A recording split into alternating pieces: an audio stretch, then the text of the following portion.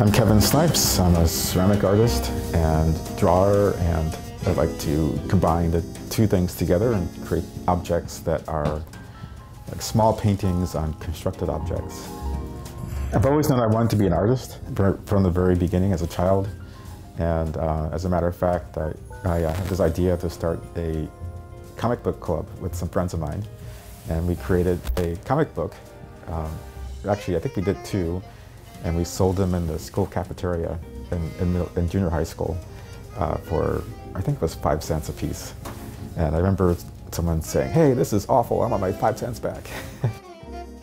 when I went to art school, I decided to actually return to my comic book roots after studying uh, realistic, uh, more formal types of art.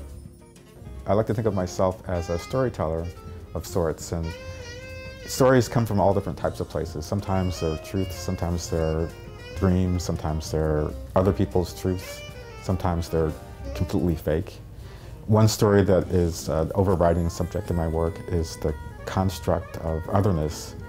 And so a lot of my work has uh, multiple sides that come together and so there's two fronts and two backs or no fronts or no backs to the work. There's just sort of a constantly revolving interrelationship of people and things that come into play in my work. Um, and this keeps me really excited, so I've been working on this concept of combining things that are different into one piece for several years now. Especially in ceramics, there are not that many um, African Americans. And so I think a lot of times um, the burden of being an African American ceramic artist is that people expect you to make uh, black work. And um, my way of dealing with that is to, to, talk about something deeper than blackness, which is actually the concept of otherness. And otherness can mean many different things, but it does. It means basically that um, you know, creating a sense of self and the other.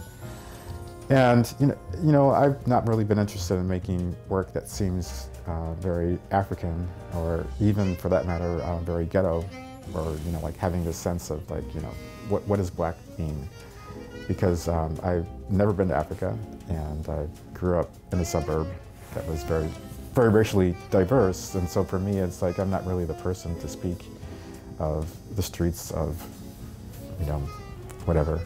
But I have often found myself in situations where I do feel like an, an other and, and I think that a lot of people can relate to that in different ways.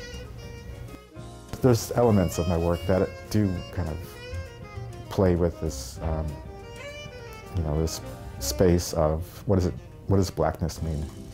There's um, what I have nicknamed sometimes as sneaky blackness in my work, using uh, black hair, for instance, or using um, some uh, things that are humorous, but also a little bit um, politically incorrect, which is like I, like, I love drawing this character. He's a blackface popsicle.